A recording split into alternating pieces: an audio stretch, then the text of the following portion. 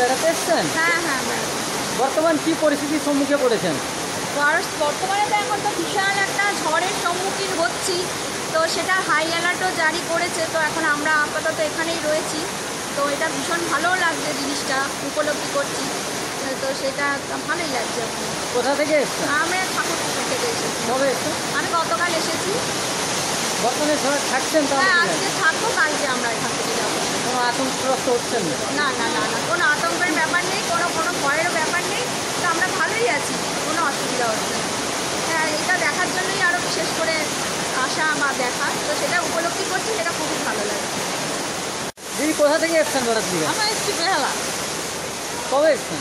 আমরা এসছি কালকে দিয়ে এসছি। দীঘায় তো একটা ঘূর্ণিঝড়ের প্রভাব পড়তে চলেছে। কেমন উপলব্ধি মানে আমাদের উপলব্ধি খুবই ভালো। আমাদের ভালোও লাগছে।